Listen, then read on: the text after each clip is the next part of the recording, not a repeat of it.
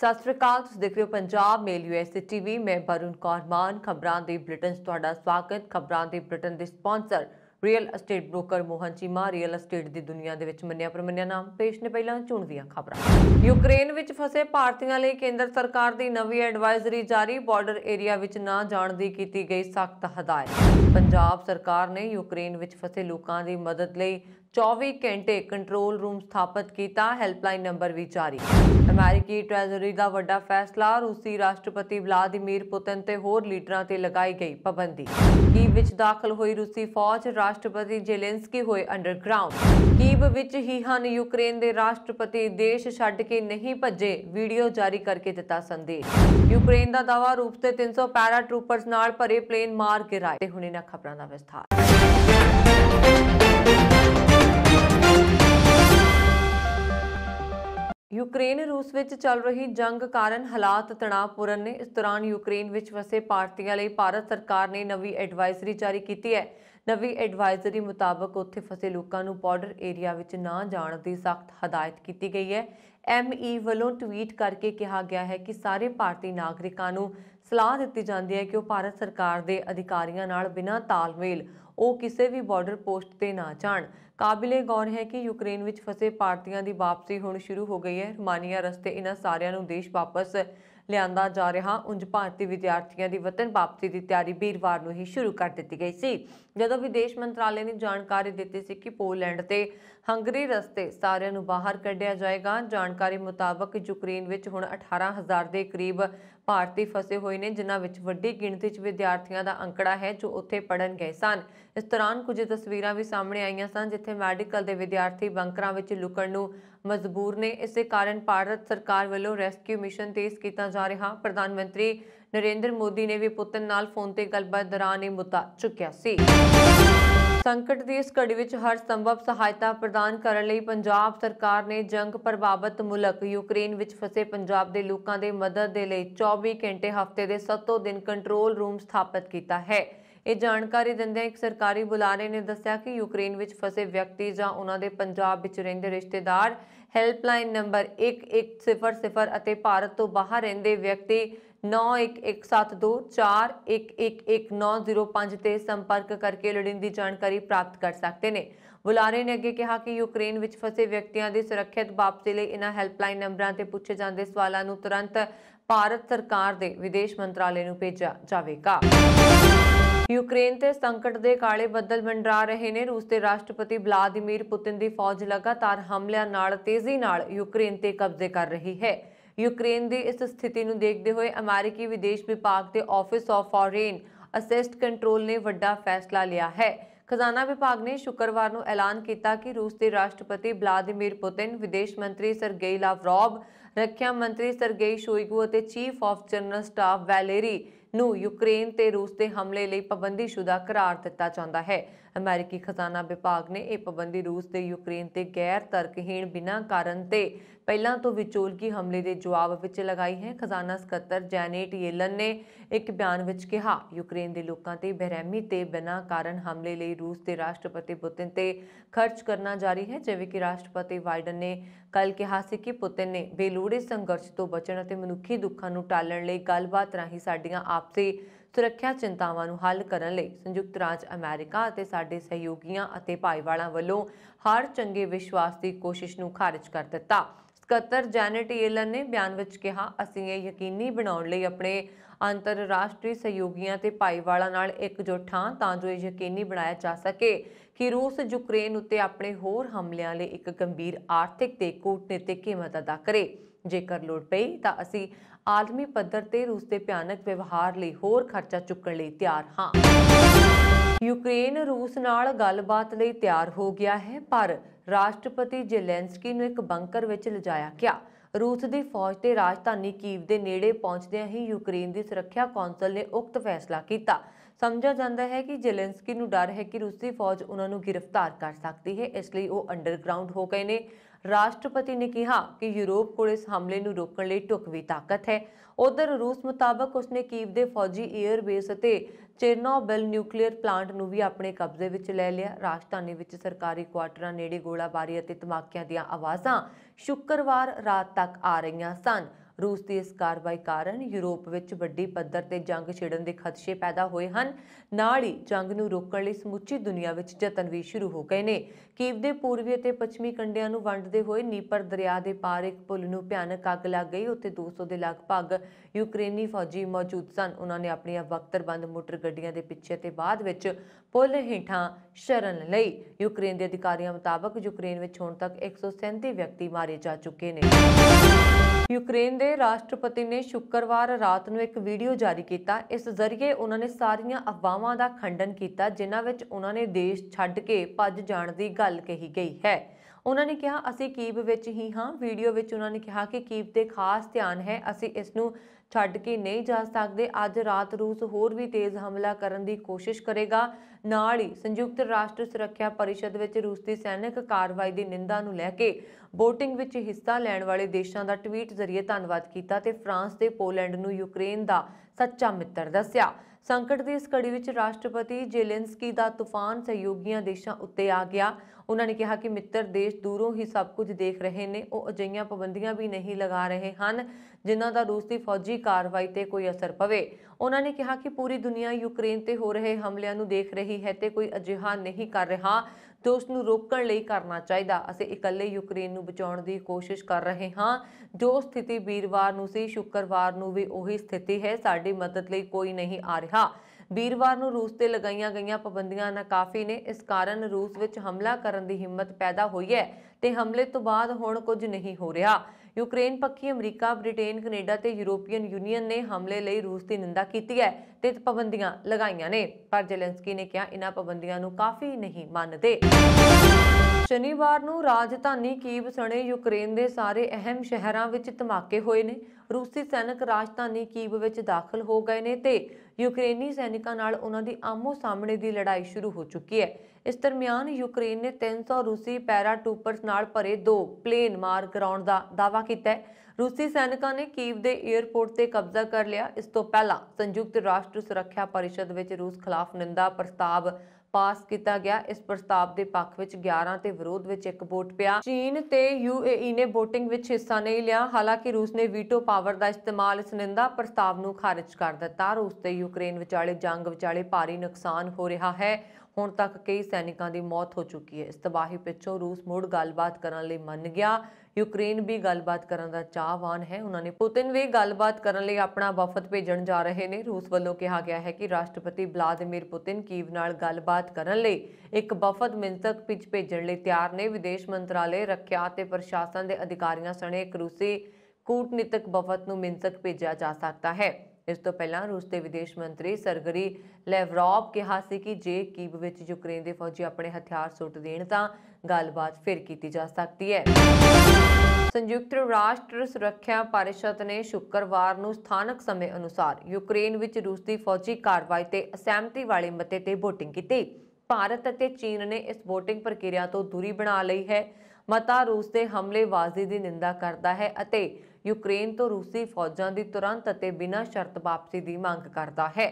ਸੰਯੁਕਤ ਰਾਸ਼ਟਰ ਸੁਰੱਖਿਆ ਪਰਿਸ਼ਦ ਅਮਰੀਕਾ ਅਤੇ ਅਲਬਾਨੀਆ ਵੱਲੋਂ ਪੇਸ਼ ਕੀਤੇ ਗਏ ਪ੍ਰਸਤਾਵ ਵਿੱਚ ਰੂਸੀ ਹਮਲੇ ਅਤੇ ਯੂਕਰੇਨ ਦੀ ਪ੍ਰਭੂਸੱਤਾ ਦੀ ਉਲੰਘਣਾ ਦੀ ਨਿੰਦਾ ਸ਼ਾਮਲ ਹੈ। ਇਸ ਤੋਂ ਇਲਾਵਾ ਮਤੇ 'ਚ ਯੂਕਰੇਨ ਦੀ ਪ੍ਰਭੂਸੱਤਾ ਸੁਤੰਤਰਤਾ, ਏਕਤਾ ਤੇ ਖੇਤਰੀ ਅਖੰਡਤਾ ਲਈ ਵਚਨਬੱਧਤਾਵਾਂ ਜਤਾਈਆਂ ਗਈਆਂ ਅਤੇ ਰੂਸੀ ਹਮਲੇ ਨੂੰ ਅੰਤਰਰਾਸ਼ਟਰੀ ਸ਼ਾਂਤੀ ਤੇ ਸੁਰੱਖਿਆ ਦੀ ਉਲੰਘਣਾ ਦੱਸਿਆ ਗਿਆ। ਮਤੇ 'ਚ ਪੂਰਬੀ ਯੂਕਰੇਨ ਵਿੱਚ ਡੋਨੇਟਸਕ ਤੇ ਲੋਹਾਨਸਕ ਨੂੰ ਵੱਖਰੀ ਮਾਨਤਾ ਦੇਣ ਦੇ ਫੈਸਲੇ ਨੂੰ ਤੁਰੰਤ ਵਾਪਸ ਲੈਣ ਦੀ ਮੰਗ ਕੀਤੀ ਗਈ। ਡਰਾਫਟ ਰੈਜ਼ੋਲੂਸ਼ਨ 'ਚ ਕਿਹਾ ਗਿਆ ਹੈ ਕਿ ਯੂਕਰੇਨ 'ਚ ਲੋੜਵੰਦ ਲੋਕਾਂ ਨੂੰ ਮਨੁੱਖੀ ਮਦਦ ਦੀ ਤੀਬਰ ਮੁਲਾਜ਼ਮਾਂ ਤੇ ਬੱਚਿਆਂ ਸਮੇਤ ਕਮਜ਼ੋਰ ਹਾਲਾਤ ਵਿੱਚ ਵਿਅਕਤੀਆਂ ਦੀ ਰੱਖਿਆ ਲਈ ਸੁਰੱਖਿਆ ਤੇ ਨਿਰਬਾਧ ਪਹੁੰਚ ਦੀ ਆਗਿਆ ਦਿੱਤੀ ਜਾਵੇ। ਸੰਯੁਕਤ ਰਾਸ਼ਟਰ ਸੁਰੱਖਿਆ ਪਰਿਸ਼ਦ ਦੇ 15 ਮੈਂਬਰ ਦੇਸ਼ਾਂ 'ਚੋਂ 11 ਨੇ ਯੂਕਰੇਨ 'ਚ ਰੂਸ ਦੀਆਂ ਕਾਰਵਾਈਆਂ ਦੀ ਨਿੰਦਾ ਕਰਨ ਵਾਲੇ ਮਤੇ ਤੇ VOTING ਕੀਤੀ, ਜਦੋਂ ਕਿ ਭਾਰਤ, ਚੀਨ ਅਤੇ ਯੂਏਈ ਇਸ ਤੋਂ ਦੂਰ ਰਹੇ, ਪਰ ਰੂਸ ਦੀ ਵੀਟੋ ਪਾਵਰ ਨੇ ਇਸ ਪ੍ਰਸਤਾਵ ਦਾ ਰਾਹ ਰੋਕ ਦਿੱਤਾ। ਤੁਹਾਨੂੰ ਦੱਸ ਦਈਏ ਕਿ ਰੂਸ ਸੁਰੱਖਿਆ ਪਰਿਸ਼ਦ ਦਾ ਸਥਾਈ ਮੈਂਬਰ ਹੈ ਤੇ ਇਸ ਤਰ੍ਹਾਂ ਉਸ ਕੋਲ ਵੀਟੋ ਪਾਵਰ ਹੈ। ਇਸ ਹਫ਼ਤੇ 'ਚ ਤੀਜੀ ਵਾਰ ਹੋਈ ਸੁਰੱਖਿਆ ਪਰਿਸ਼ਦ ਦੀ ਬੈਠਕ ਵਿੱਚ ਯੂਕਰੇਨ 'ਚ ਰੂਸੀ ਫੌਜੀ ਕਾਰਵਾਈ ਖਿਲਾਫ ਮਤਾ ਪੇਸ਼ ਕੀਤਾ ਗਿਆ, ਜਿਸ ਦੇ ਮੈਂਬਰ ਦੇਸ਼ਾਂ ਨੇ VOTING ਕੀਤੀ, ਪਰ ਭਾਰਤ ਤੇ ਚੀਨ ਨੇ ਇਸ ਤੋਂ ਦੂਰੀ ਬਣਾ ਲਈ, ਜਦਕਿ ਰੂਸ ਨੇ ਇਸ ਨੂੰ ਵੀਟੋ ਕਰ ਦਿੱਤਾ। ਰੂਸੀ ਹਮਲੇ ਵਿਚਾਲੇ ਯੂਕਰੇਨ ਦੇ ਇੱਕ ਸੈਨਿਕ ਦੀ ਬਹਾਦਰੀ ਦਾ ਹਲਾ ਦੇਣ ਵਾਲਾ ਕਾਰਨਾਮਾ ਸਾਹਮਣੇ ਆਇਆ। ਸ਼ੁੱਕਰਵਾਰ ਨੂੰ ਜਦੋਂ ਯੂਕਰੇਨ ਦੀ ਸੈਨਾ ਨੂੰ ਇਹ ਜਾਣਕਾਰੀ ਮਿਲੀ ਕਿ ਰੂਸੀ ਸੈਨਿਕ ਆਪਣੇ ਟੈਂਕਾਂ ਨਾਲ ਰਾਜਧਾਨੀ ਕੀਵ ਵੱਲ ਤੇਜ਼ੀ ਨਾਲ ਵੱਧ ਰਹੇ ਨੇ, ਤਾਂ ਉਹਨਾਂ ਨੇ ਸ਼ਹਿਰ ਨੂੰ ਜੋੜਨ ਵਾਲੇ ਤਿੰਨ ਪੁਲਾਂ ਨੂੰ ਧਮਾਕਾ ਕਰਕੇ ਉਡਾ ਦਿੱਤਾ। ਇੱਕ ਪੁਲ ਤਾਂ ਅਜਿਹਾ ਸੀ ਜਿਸ ਨੂੰ ਉਡਾਉਣ ਲਈ ਯੂਕਰੇਨ ਸੈਨਾ ਦੇ ਇੰਜੀਨੀਅਰ ਨੇ ਆਪਣੀ ਜਾਨ ਤੱਕ ਦੀ ਬਾਜੀ ਲਾ ਦਿੱਤੀ। ਯੂਕਰੇਨ ਦੀ ਆਰਮੀ ਨੇ ਆਪਣੇ ਇਸ ਜਵਾਨ ਨੂੰ ਹੀਰੋ ਦੱਸਦੇ ਹੋਏ ਸੋਸ਼ਲ ਮੀਡੀਆ ਤੇ ਉਸ ਦੀ ਸਟੋਰੀ ਸ਼ੇਅਰ ਕੀਤੀ ਹੈ। ਕ੍ਰੀਮੀਆ ਦੇ ਨੇੜੇ ਸਭ ਤੋਂ ਖਤਰਨਾਕ ਮੋਰਚੇ ਪੈਰੇਕਾਪ ਦਾ ਇੰਸਤੂਜ, ਜਿੱਥੇ ਦੁਸ਼ਮਣ ਨਾਲ ਸਭ ਤੋਂ ਪਹਿਲਾਂ ਮੁਲਾਕਾਤ ਹੁੰਦੀ ਹੈ। ਰੂਸ ਨਾਲ ਮੁਕਾਬਲੇ ਲਈ ਇੱਥੇ ਸਪੈਸ਼ਲ ਮਰੀਨ ਬਟਾਲੀਅਨ ਤੈਨਾਤ ਸੀ। ਇਸ ਬਟਾਲੀਅਨ ਦੇ ਇੰਜੀਨੀਅਰ ਵਿਟਾਲੀ ਸਾਕਾਕੁਨ ਨੇ ਕ੍ਰੀਮੀਆ ਦੇ ਕੋਲ ਇੱਕ ਪੁਲ ਤੇ ਰੂਸੀ ਸੈਨਾ ਖਿਲਾਫ ਮੋਰਚਾ ਸੰਭਾਲਿਆ ਹੋਇਆ ਸੀ। ਜਦੋਂ ਸਾਡੀ ਸੈਨਾ ਨੂੰ ਇਸ ਗੱਲ ਦੀ ਖਬਰ ਮਿਲੀ ਤਾਂ ਰੂਸੀ ਟੈਂਕ ਤੇਜ਼ੀ ਨਾਲ ਰਾਜਧਾਨੀ ਕੀਵ ਵੱਲ ਵੱਧ ਰਹੇ ਨੇ। ਤਾਂ ਅਸੀਂ ਹੈਂਸੀਚੇਕਸ ਪੁਲ ਨੂੰ ਉਡਾਉਣ ਦਾ ਫੈਸਲਾ ਲਿਆ। ਪੁਲ ਨੂੰ ਉਡਾਉਣ ਦੀ ਜ਼ਿੰਮੇਵਾਰੀ ਵਿਟਾਲੀ ਨੂੰ ਦਿੱਤੀ ਗਈ। ਉਸਨੇ ਪੁਲ ਵਿੱਚ ਵਿਸਫੋਟਕ ਲਾਉਣਾ ਸ਼ੁਰੂ ਕਰ ਦਿੱਤਾ। ਵਿਟਾਲੀ ਨੂੰ ਜਦੋਂ ਇਸ ਗੱਲ ਦਾ ਅਹਿਸਾਸ ਹੋਇਆ ਕਿ ਉਹ ਧਮਾਕੇ ਤੋਂ ਪਹਿਲਾਂ ਸਮੇਂ ਤੇ ਬਾਹਰ ਨਹੀਂ ਨਿਕਲ ਸਕਣਗੇ, ਤਾਂ ਉਸਨੇ ਮਿਸ਼ਨ ਨੂੰ ਆਖਰੀ ਸਾਹ ਤੱਕ ਅੰਜਾਮ ਦੇਣ ਦਾ ਫੈਸਲਾ ਕੀਤਾ। ਵਿਟਾਲੀ ਆਪਣੇ ਦੇਸ਼ ਦੇ ਲਈ ਦਿੱਤੇ ਗਏ ਮਿਸ਼ਨ ਵਿੱਚ ਸਫਲ ਰਿਹਾ, ਪਰ ਉਸਨੂੰ ਆਪਣੀ ਕੁਰਬਾਨੀ ਦੇਣੀ ਪਈ। ਰੂਸੀ ਰਾਸ਼ਟਰਪਤੀ ਵਲਾਦੀਮੀਰ ਪੁਤਿਨ ਨੇ ਯੂਕਰੇਨੀ ਫੌਜ ਨੂੰ ਤਖਤਾ ਪਲਟਣ ਦਾ ਸੱਦਾ ਦਿੱਤਾ ਹੈ। ਪੁਤਿਨ ਨੇ ਕਿਹਾ ਕਿ ਸੱਤਾ ਫੌਜ ਹੱਥ ਨਾਲ ਰੂਸ ਤੇ ਯੂਕਰੇਨ ਬਿਹਤਰ ਤਰੀਕੇ ਨਾਲ ਗੱਲਬਾਤ ਕਰ ਸਕਣਗੇ। ਪੁਤਿਨ ਨੇ ਯੂਕਰੇਨੀ ਹਮਰੁਤਮਾ ਵਲੋਦੋਮੀਰ ਜ਼ੈਲੈਂਸਕੀ ਦੀ ਗੱਲਬਾਤ ਦੀ ਪੇਸ਼ਕਸ਼ ਮਗਰੋਂ ਯੂਕਰੇਨ ਅੱਗੇ ਦੋ ਸ਼ਰਤਾਂ ਰੱਖੀਆਂ ਨੇ।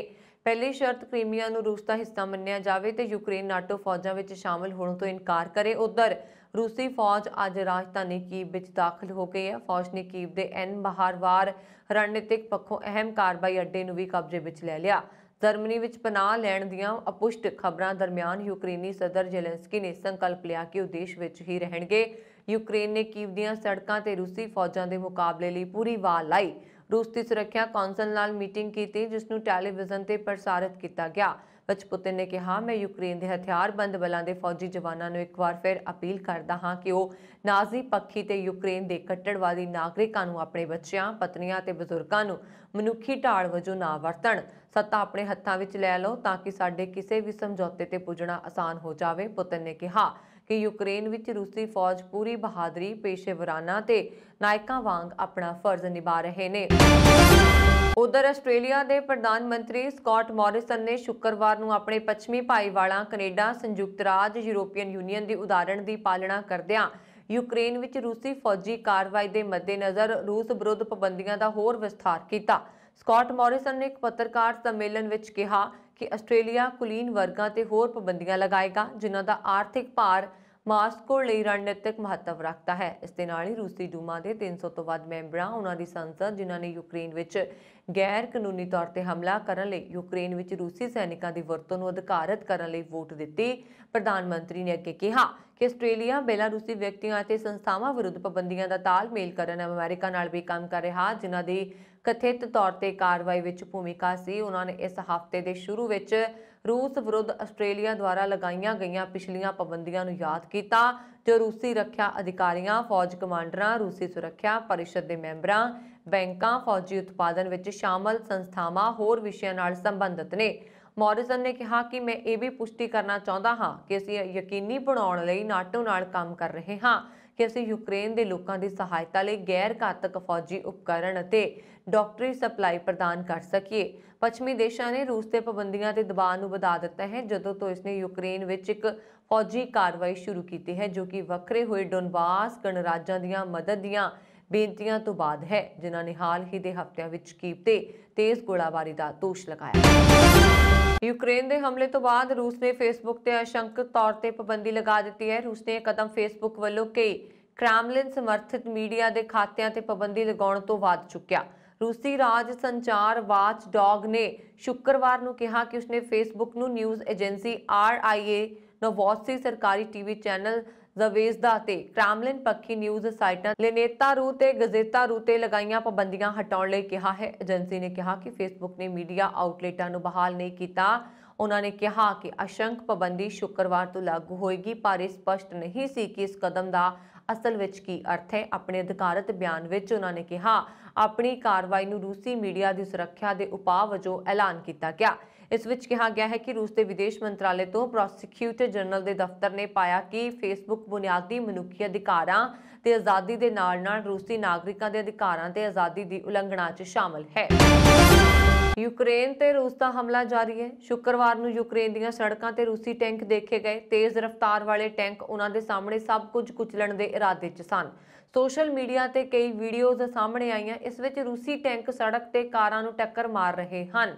ਇਸੇ ਤਰ੍ਹਾਂ ਦੀ ਘਟਨਾ ਦਾ ਇੱਕ ਵੀਡੀਓ ਟਵਿੱਟਰ ਤੇ ਪੋਸਟ ਕੀਤਾ ਗਿਆ। ਇਸ ਵੀਡੀਓ ਵਿੱਚ ਦੇਖਿਆ ਜਾ ਰਿਹਾ ਕਿ 6-7 ਨੌਜਵਾਨ ਪੂਰੀ ਤਰ੍ਹਾਂ ਚਕਨਾਚੂਰ ਹੋਈ ਕਾਰ ਦਾ ਗੇਟ ਖੋਲਣ ਦੀ ਕੋਸ਼ਿਸ਼ ਕਰ ਰਹੇ ਨੇ। ਦੱਸਿਆ ਜਾ ਰਿਹਾ ਕਿ ਕਾਰ ਨੂੰ ਰੂਸੀ ਟੈਂਕ ਨੇ ਕੁਚਲ ਦਿੱਤਾ ਸੀ। ਖੁਸ਼ਕਿਸਮਤੀ ਨਾਲ ਕਾਰ ਵਿੱਚ ਸਵਾਰ ਬਜ਼ੁਰਗ ਵਿਅਕਤੀ ਦੀ ਜਾਨ ਬਚ ਗਈ, ਉਹ ਬੁਰੀ ਤਰ੍ਹਾਂ ਨਾਲ ਨੁਕਸਾਨੀ ਗਈ। ਉਹ ਕਾਰ ਵਿੱਚ ਫਸ ਗਿਆ ਸੀ, ਪਰ ਹੋਸ਼ ਵਿੱਚ ਸੀ। ਨੇੜੇ ਮੌਜੂਦ ਨੌਜਵਾਨ ਕਾਰ ਦਾ ਗੇਟ ਖੋਲ ਕੇ ਬਜ਼ੁਰਗ ਨੂੰ ਬਾਹਰ ਕੱਢਣ ਦੀ ਕੋਸ਼ਿਸ਼ ਕਰਦੇ ਦੇਖੇ ਗਏ। ਉਹਨਾਂ ਨੇ ਲੋਹੇ ਦੀ ਰਾੜ ਨਾਲ ਗੇਟ ਨੂੰ ਤੋੜਨ ਦੀ ਕੋਸ਼ਿਸ਼ ਵੀ ਕੀਤੀ। ਹੈ ਵੀਡੀਓ ਟਵਿੱਟਰ ਤੇ ਤੇਜ਼ੀ ਨਾਲ ਸ਼ੇਅਰ ਕੀਤਾ ਜਾ ਰਿਹਾ ਹੈ। ਯੂਕਰੇਨ ਅਤੇ ਰੂਸ ਵਿਚਕਾਰ ਵੱਧਦੇ ਤਣਾਅ ਦੇ ਵਿਚਕਾਰ ਸੋਸ਼ਲ ਮੀਡੀਆ ਯੂਕਰੇਨ ਦੇ ਨਾਗਰਿਕਾਂ ਦੀਆਂ ਦਿਲ ਨੂੰ ਛੂਹਣ ਵਾਲੀਆਂ ਫੋਟੋਆਂ ਨਾਲ ਗੂੰਜ ਰਿਹਾ। ਯੂਕਰੇਨ ਦੇ ਇੱਕ ਸਾਬੇ ਸਟੇਸ਼ਨ ਤੇ ਅਲਵਿਦਾ ਕਹਿਣ ਵਾਲੇ ਜੋੜੇ ਦੀ ਵਾਇਰਲ ਫੋਟੋ ਤੋਂ ਲੈ ਕੇ ਇੱਕ ਪਿਤਾ ਅਤੇ ਧੀ ਦੇ ਰੋਣ ਅਤੇ ਇੱਕ ਦੂਜੇ ਨੂੰ ਗਲੇ ਲਗਾਉਂਦੇ ਹੋਏ ਵਿਜ਼ੂਅਲ ਨੇ ਨੈਟੀਜ਼ਨਾਂ ਨੂੰ ਹੈਰਾਨ ਕਰ ਦਿੱਤਾ। ਇਸ ਦੌਰਾਨ ਯੂਕਰੇਨ ਦੀ ਫੌਜ ਵਿੱਚ ਭਰਤੀ ਹੋਣ ਲਈ ਲਾਈਨ ਵਿੱਚ ਖੜੇ ਇੱਕ ਬਜ਼ੁਰਗ ਵਿਅਕਤੀ ਦੀ ਤਸਵੀਰ ਵਾਇਰਲ ਹੋ ਰਹੀ ਹੈ। ਕੈਟਰੀਨਾ ਦੁਆਰਾ ਟਵਿੱਟਰ ਤੇ ਸ਼ੇਅਰ ਕੀਤੀ ਗਈ ਤਸਵੀਰ ਵਿੱਚ ਇੱਕ ਵਿਅਕਤੀ ਬੈਗ ਲੈ ਕੇ ਖੜਾ ਦਿਖਾਈ ਦੇ ਰਿਹਾ, ਜੋ ਫੌਜ ਵਿੱਚ ਭਰਤੀ ਹੋਣ ਲਈ ਤਿਆਰ ਹੈ। ਉਸ ਦੇ ਬੈਗ ਵਿਚਲੀ ਸਮੱਗਰੀ ਜ਼ਰੂਰ ਤੁਹਾਨੂੰ ਹੰਝੂਆਂ ਨਾਲ ਭਰ ਦੇਗੀ ਕਿਸੇ ਨੇ ਇਸ 80 ਸਾਲਾ ਬਜ਼ੁਰਗ ਦੀ ਇੱਕ ਫੋਟੋ ਪੋਸਟ ਕੀਤੀ ਜੋ ਫੌਜ ਵਿੱਚ ਸ਼ਾਮਲ ਹੋਣ ਲਈ ਦਿਖਾਈ ਦਿੰਦਾ। ਉਸਨੇ ਆਪਣੇ ਨਾਲ ਦੋ ਟੀ-ਸ਼ਰਟਾਂ, ਇੱਕ ਵਾਧੂ ਪੈਂਟ, ਇੱਕ ਟੁੱਥਬਰਸ਼ ਅਤੇ ਦੁਪਹਿਰ ਦੇ ਖਾਣੇ ਲਈ ਕੁਝ ਸੈਂਡਵਿਚਾਂ ਵਾਲਾ ਛੋਟਾ ਕੇਸ ਲਿਆ। ਉਸਨੇ ਕਿਹਾ ਕਿ ਉਹ ਇਹ ਆਪਣੇ ਪੋਤੇ ਪੋਤੀਆਂ ਲਈ ਕਰ ਰਿਹਾ ਹੈ। ਅਮਰੀਕਾ ਦੇ ਰਾਸ਼ਟਰਪਤੀ ਜੋ ਬਾਈਡਨ ਸ਼ੁੱਕਰਵਾਰ ਨੂੰ ਕੇਤਾਂਜੀ ਬ੍ਰਾਊਨ ਜੈਕਸਨ ਨੂੰ ਸੁਪਰੀਮ ਕੋਰਟ ਦੀ ਜੱਜ ਵਜੋਂ ਨਾਮਜ਼ਦ ਕਰਨਗੇ। ਇਸ ਮਾਮਲੇ ਨਾਲ ਜੁੜੇ ਇੱਕ ਵਿਅਕਤੀ ਨੇ ਇਹ ਜਾਣਕਾਰੀ ਦਿੱਤੀ ਹੈ। ਜੈਕਸਨ ਸੁਪਰੀਮ ਕੋਰਟ ਦੀ ਪਹਿਲੀ ਗੈਰ ਗੋਰੀ ਮਹਿਲਾ ਜੱਜ ਹੋਏਗੀ। ਵਾਈਡਨ ਨੇ ਰਾਸ਼ਟਰਪਤੀ ਚੋਣ ਪ੍ਰਚਾਰ ਦੌਰਾਨ ਵਾਅਦਾ ਕੀਤਾ ਸੀ ਕਿ ਉਹ ਚੋਟੀ ਦੀ ਅਦਾਲਤ ਵਿੱਚ ਇਤਿਹਾਸਕ ਨਿਯੁਕਤੀ ਕਰਕੇ ਉਸ ਨੂੰ ਹੋਰ ਜ਼ਿਆਦਾ ਵਿਭਿੰਨਾ ਦੇਣਗੇ। ਜੈਕਸਨ ਫਿਲਹਾਲ ਫੈਡਰਲ ਕੋਰਟ ਆਫ ਅਪੀਲਸ ਵਿੱਚ ਜੱਜ ਹਨ। ਉਹ ਇਸ ਅਦਾਲਤ ਵਿੱਚ ਜਸਟਿਸ ਕਲੈਰੈਂਸ ਥਾਮਸ ਤੋਂ ਬਾਅਦ ਦੂਜੀ ਗੈਰ ਗੋਰੀ ਜੱਜ ਹੈ। University of Texas El Paso ਦੀ 19 ਸਾਲਾ ਭਾਰਤੀ ਮੂਲ ਦੀ ਅਮਰੀਕਨ ਵਿਦਿਆਰਥਣ ਕ੍ਰਿਸ਼ਨਾ ਜੈਸ਼ੰਕਰ ਨੇ ਕਾਨਫਰੰਸ ਯੂਐਸਏ ਇੰਡੋਰ ਵਿਖੇ ਹੋਏ ਮੁਕਾਬਲਿਆਂ ਵਿੱਚ ਗੋਲਾ ਸਿੱਟਣ ਵਿੱਚ ਚਾਂਦੀ ਦਾ ਤਗਮਾ ਜਿੱਤਿਆ ਹੈ। ਉਹ ਦੂਸਰੀ ਭਾਰਤੀ ਮੂਲ ਦੀ ਔਰਤ ਬਣ ਗਈ ਹੈ ਜਿਸ ਨੇ 15 ਮੀਟਰ ਗੋਲਾ ਸੁੱਟ ਕੇ ਚਾਂਦੀ ਦਾ ਤਮਗਾ ਆਪਣੇ ਨਾਂ ਕੀਤਾ। ਇਸ ਤੋਂ ਪਹਿਲਾਂ ਅੰਬਾਲਾ ਦੀ ਮਨਪ੍ਰੀਤ ਕੌਰ ਨੇ 2016 ਵਿੱਚ ਦੋਹਾ ਵਿੱਚ ਹੋਈ ਚੈਂਪੀਅਨਸ਼ਿਪ ਵਿੱਚ 15.21 ਮੀਟਰ ਗੋਲਾ ਸੁੱਟਿਆ। ਜੈ ਸ਼ੰਕਰ ਨੇ ਇਸ ਸੀਜ਼ਨ ਦੀ ਸ਼ੁਰੂਆਤ 14.10 ਮੀਟਰ ਗੋਲਾ ਸੁੱਟ ਕੇ ਕੀਤੀ ਸੀ, ਪਰ ਯੂਐਸਏ ਇੰਡੋਰ ਮੁਕਾਬਲੇ ਵਿੱਚੋਂ 15 ਮੀਟਰ ਗੋਲਾ ਸੁੱਟਣ ਵਿੱਚ ਕਾਮਯਾਬ ਰਹੀ।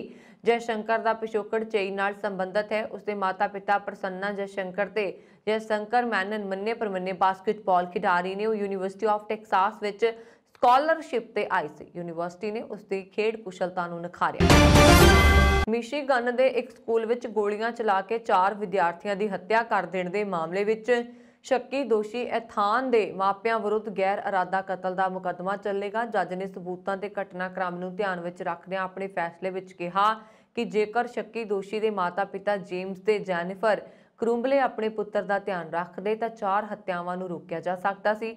ਡਿਸਟ੍ਰਿਕਟ ਕੋਰਟ ਜੱਜ ਜੂਲੀਏ ਨਿਲਕਸਨ ਨੇ ਕਿਹਾ ਕਿ ਸ਼ੱਕੀ ਦੋਸ਼ੀ ਦੇ ਮਾਤਾ-ਪਿਤਾ ਨੇ ਆਪਣੇ ਪੁੱਤਰ ਨੂੰ ਬਿਨਾਂ ਸੋਚੇ ਸਮਝੇ ਗੰਨ ਲੈ ਦਿੱਤੀ, ਜੋ ਹੱਤਿਆਵਾਂ ਦਾ ਕਾਰਨ ਬਣੀ। ਇੱਥੇ ਜ਼ਿਕਰਯੋਗ ਹੈ ਕਿ ਪਿਛਲੇ ਸਾਲ 3 ਨਵੰਬਰ ਨੂੰ ਆਕਸਫੋਰਡ ਹਾਈ ਸਕੂਲ ਵਿੱਚ ਸ਼ੱਕੀ ਦੋਸ਼ੀ ਨੇ ਗੋਲੀਆਂ ਚਲਾ ਕੇ ਚਾਰ ਵਿਦਿਆਰਥੀਆਂ ਦੀ ਹੱਤਿਆ ਕਰ ਦਿੱਤੀ ਸੀ ਤੇ ਇੱਕ ਅਧਿਆਪਕ ਸਮੇਤ ਸੱਤ ਹੋਰਨਾਂ ਨੂੰ ਜ਼ਖਮੀ ਕਰ ਦਿੱਤਾ ਸੀ। 15 ਸਾਲਾ ਸ਼ੱਕੀ ਦੋਸ਼ੀ ਇਥਾਨ ਕਰੁੰਬਲੇ ਬੱਚਿਆਂ ਦੀ ਜੇਲ੍ਹ ਵਿੱਚ ਬੰਦ ਹੈ। ਯੂਕਰੇਨ ਵਿੱਚ ਰੂਸ ਦੀ ਸਰਹੱਦ ਨਾਲ ਲੱਗਦੇ ਸੂਮੀ ਸ਼ਹਿਰ ਦੇ ਰੂਸੀ ਸੈਨਿਕਾਂ ਦੇ ਕਬਜ਼ੇ ਮਗਰੋਂ ਘੱਟੋ-ਘੱਟ 400 ਭਾਰਤੀ ਵਿਦਿਆਰਥੀਆਂ ਨੇ ਇੱਕ ਬੇਸਮੈਂਟ ਵਿੱਚ ਆਸਰਾ ਲਿਆ ਹੈ ਅਤੇ ਭਾਰਤ ਸਰਕਾਰ ਨੂੰ ਅਪੀਲ ਕੀਤੀ ਹੈ ਕਿ ਉਹਨਾਂ ਨੂੰ ਉੱਥੋਂ ਕੱਢਿਆ ਜਾਵੇ। ਇਹਨਾਂ ਵਿਦਿਆਰਥੀਆਂ ਵਿੱਚ ਜ਼ਿਆਦਾਤਰ ਸੂਮੀ ਸਟੇਟ ਮੈਡੀਕਲ ਕਾਲਜ ਦੇ ਵਿਦਿਆਰਥੀ ਨੇ। ਉਹਨਾਂ ਨੇ ਕਿਹਾ ਕਿ ਬਾਹਰ ਗੋਲੀਆਂ ਦੀਆਂ ਆਵਾਜ਼ਾਂ ਸੁਣਨ ਕਰਕੇ ਉਹਨਾਂ ਨੂੰ ਆਪਣੀਆਂ ਸੁਰੱਖਿਆ ਦੀ ਚਿੰਤਾ ਹੈ। ਵਿਦਿਆਰਥੀ ਲਲਿਤ ਕੁਮਾਰ ਨੇ ਪੀਟੀਆਈ ਨਾਲ ਗੱਲਬਾਤ ਦੌਰਾਨ ਕਿਹਾ, ਇਸ ਵੇਲੇ ਅਸੀਂ ਆਪਣੇ ਹੋਸਟਲ ਦੀ ਬੇਸਮੈਂਟ ਵਿੱਚ ਲੁਕੇ ਹੋਏ ਹਾਂ ਅਤੇ ਸਾਨੂੰ ਨਹੀਂ ਪਤਾ ਕਿ ਇੱਥੇ ਅਸੀਂ ਕਦੋਂ ਤੱਕ ਸੁਰੱਖਿਅਤ ਰਹਿ ਸਕਾਂਗੇ।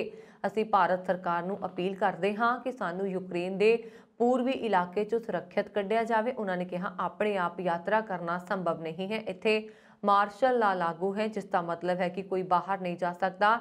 ਕਾਰ, ਬੱਸ ਅਤੇ ਨਿੱਜੀ ਵਾਹਨ ਨਹੀਂ ਨਿਕਲ ਸਕਦੇ। ਏਟੀਐਮ ਅਤੇ ਸੁਪਰਮਾਰਕਟਸ ਵੀ ਬੰਦ ਨੇ।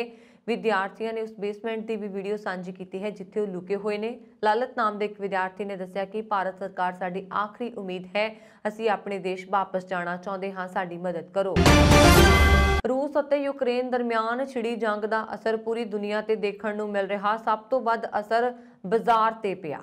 ਭਾਰਤ ਸਮੇਤ ਪੂਰੀ ਦੁਨੀਆ ਦੀ ਸਟਾਕ ਮਾਰਕੀਟ ਵਿੱਚ ਉਥਲ-ਪੁਥਲ ਮਚੀ ਹੋਈ ਹੈ। ਬਾਜ਼ਾਰ ਮਾਹਿਰ ਦੱਸ ਰਹੇ ਨੇ ਕਿ ਜੰਗ ਸ਼ੁਰੂ ਹੋਣ ਤੋਂ 4-5 ਘੰਟਿਆਂ ਦੇ ਅੰਦਰ ਹੀ ਦੁਨੀਆ ਦੇ ਟੌਪ 20 ਸਭ ਤੋਂ ਅਮੀਰ ਲੋਕਾਂ ਦੀ ਜਾਇਦਾਦ ਵਿੱਚ 3.11 ਲੱਖ ਕਰੋੜ ਤੋਂ ਵੱਧ ਦੀ ਗਿਰਾਵਟ ਆ ਗਈ ਹੈ। ਕਾਰੋਬਾਰੀਆਂ ਨੂੰ 60000 ਕਰੋੜ ਰੁਪਏ ਤੋਂ ਵੱਧ ਦਾ ਨੁਕਸਾਨ ਉਠਾਉਣਾ ਪਿਆ। ਰੂਸ ਅਤੇ ਯੂਕਰੇਨ ਵਿੱਚ ਯੁੱਧ ਕਾਰਨ ਦੁਨੀਆ ਦੇ ਟੌਪ 10 ਸਭ ਤੋਂ ਅਮੀਰ ਲੋਕਾਂ ਨੇ ਕੁਝ ਹੀ ਘੰਟਿਆਂ 'ਚ ਲੱਖਾਂ ਕਰੋੜਾਂ ਰੁਪਏ ਗਵਾ ਦਿੱਤੇ। ਅਮਰੀਕਾ, ਬ੍ਰਿਟੇਨ, ਜਾਪਾਨ, ਭਾਰਤ ਅਤੇ ਚੀਨ ਸਮੇਤ ਲਗਭਗ ਹਰ ਵੱਡੇ ਦੇਸ਼ ਦੇ ਸ਼ੇਅਰ ਬਾਜ਼ਾਰਾਂ ਵਿੱਚ ਗਿਰਾਵਟ ਦਰਜ ਕੀਤੀ ਗਈ ਹੈ। ਸਭ ਤੋਂ ਵੱਧ ਨੁਕਸਾਨ ਉਠਾਉਣ ਵਾਲਿਆਂ ਦੀ ਲਿਸਟ ਵਿੱਚ ਐਲਨ ਮਸਕ ਸਭ ਤੋਂ ਉੱਪਰ ਨੇ। ਫੇਸਬੁੱਕ ਦੇ ਮਾਰਕ ਜ਼ਕਰਬਰਗ, ਮਾਈਕਰੋਸਾਫਟ ਦੇ ਬਿਲ ਗੇਟਸ ਅਤੇ ਬਰਨਾਰਡ ਅਰਨੋਲਟ ਅਤੇ ਜੈਫ ਵੇਜੋਸ ਦੀ ਕੁੱਲ ਜਾਇਦਾਦ ਵਿੱਚ 1.51 ਲੱਖ ਕਰੋੜ ਰੁਪਏ ਦੀ ਗਿਰਾਵਟ ਦਰਜ ਕੀਤੀ ਗਈ ਹੈ। ਭਾਰਤ ਦੇ ਕਾਰੋਬਾਰੀਆਂ ਨੂੰ ਵੀ ਇਸ ਲੜਾਈ ਵਿੱਚ ਵੱਡਾ ਚੂਨਾ ਲੱਗਾ ਹੈ। ਅਡਾਨੀ ਗਰੁੱਪ ਦੇ ਚੇਅਰਮੈਨ ਗੌਤਮ ਅਡਾਨੀ ਨੂੰ 9700 ਕਰੋੜ ਰੁਪਏ HCL ਟੈਕਨੋਲੋਜੀ ਦੇ ਸ਼ਿਵ ਨਡਾਰ ਨੂੰ 5300 ਕਰੋੜ ਰੁਪਏ ਦਾ ਨੁਕਸਾਨ ਝੱਲਣਾ ਪਿਆ। ਇਸ ਸਨ ਹੁਣ ਤੱਕ ਦੀਆਂ ਖਬਰਾਂ। ਮੈਨੂੰ ਬਰਨ ਕੌਰ ਮਾਨ ਨੂੰ ਦਿਵਾ ਗਿਆ ਹੋਰ ਖਬਰਾਂ ਦੇ ਲਈ ਸਾਡਾ YouTube channel Punjab media TV ਜ਼ਰੂਰ ਸਬਸਕ੍ਰਾਈਬ ਕਰੋ। ਸਤਿ ਸ਼੍ਰੀ ਅਕਾਲ।